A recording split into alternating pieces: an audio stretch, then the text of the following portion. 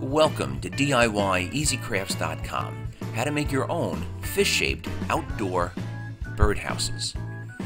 Now these birdhouses are crafted uh, from an outdoor water-resistant paper mache. We start the process uh, by using foam insulation. Now I've taken two small pieces and I've actually glued them together with a hot glue gun. I drew out the basic uh, fish shape, basically just the head of the fish, onto that styrofoam.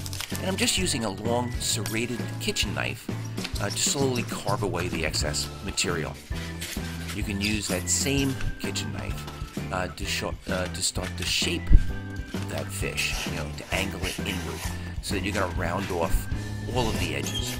And when you're doing this, you have to remember that you really want to end up um, with this foam being a little bit smaller than you want the actual birdhouse uh, shape to be because we are going to add the paper mache and the mortar mix to this.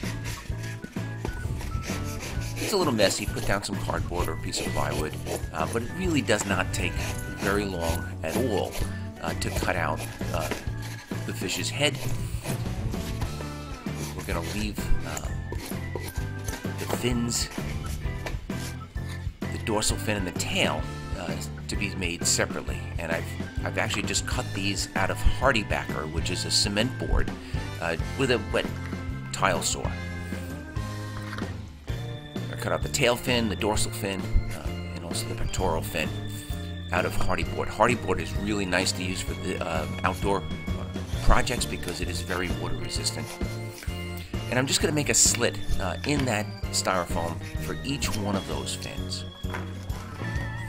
Doesn't have to fit perfectly. We're going to fix up all those little voids with the paper mache mix.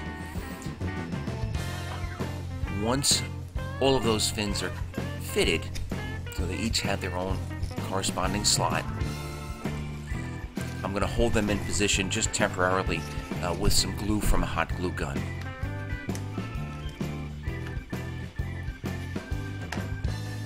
This is the basic form uh, that we're going to use to paper mache. The one last piece of, of HardieBacker I'm using on the back of the fish. Now notice that there's only um, you know one fin on each side of the fish. The back is basically left flat. This is where this particular birdhouse is going to mount to the tree. That HardieBacker gives us a, a better surface to screw through. I'm then going to take the entire uh, fish and uh, kind of impale it on uh, on three wooden dowels, and I'm going to use another piece of that same styrofoam as a stand. I've chopped a little hole where the eye is going to be, and I'm just going to use a piece of PVC.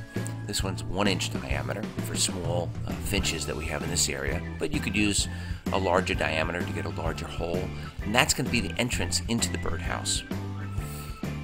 Now we're going to start the paper mache mix. Now this is not standard paper mache. Instead of using uh, you know flour or water, um, I'm going to use a mortar mix.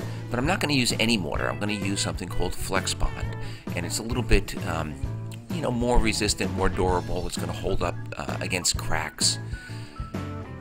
Regular standard newspaper mixed with that uh, Flex Bond, and it's a kind of a watery mix and you're going to apply it just like you would paper mache. Uh, going to completely saturate each piece of newspaper, uh, make sure that it's coated on both sides, and we are going to want to make sure that we overlap each of those um, fins from the you know made from the hardy border, from the HardieBoard. And this way, it all becomes you know one unit. The entire shell of the fish uh, merged right into each one of the fins once it's all uh, coated with the paper mache mix, you can give it another coat with a paintbrush with that same um, mortar mix. And you can note that I've rolled up some paper and made the um, the lips protrude a little bit and and the gills protrude and also gave it a ring around the eye. And the holes from the stakes that we used are going to be the drainage holes. So you have to let this completely dry. Once it's dry, then we can work on getting rid of the foam uh, from the inside of that fish. And for this process, we're going to use acetone. Make sure you use a glass container. Um, acetone would certainly eat through some plastics, or styrofoam definitely. And you're going to want to pour a little bit uh, into or through the eye opening of the birdhouse. And you have to able immediately start to dissolve that styrofoam. As it dissolves the styrofoam, start to add a little bit more. You will have to do a couple of baths with this. Um, you'll have to rinse it around or swish it around on the inside. But this mix is um, going to turn that styrofoam into a liquid, and then that liquid will pour right out either through the eye hole or through the drainage holes from the stakes uh, while we were making the fish, the bottom of the fish. Acetone evaporates very quickly, so once you make sure that all uh, of the styrofoam is out, is has dissolved, give it a rinse with water on the inside, uh, set it aside for a day and let it dry. I just put it in the boiler room of my house, it dries a little bit faster, and then it's ready for paint.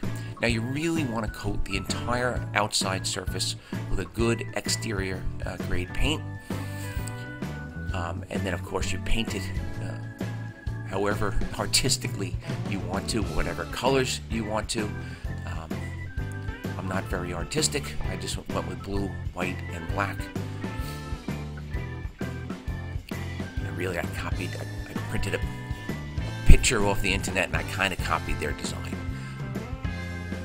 But anyway, that exterior paint is really going to give it a nice seal um, and protect that paper mache from being in contact uh, with the elements, with water. Once uh, the paint is dry, this fish or this birdhouse is ready to be mounted in any tree.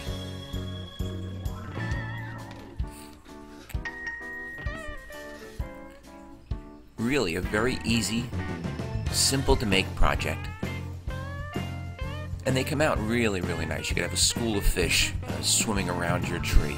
Please check us out on the web at DIYEasyCrafts.com. Be sure to check out our other how-to projects. And if you liked this video, please give it a thumbs up and subscribe to this YouTube channel.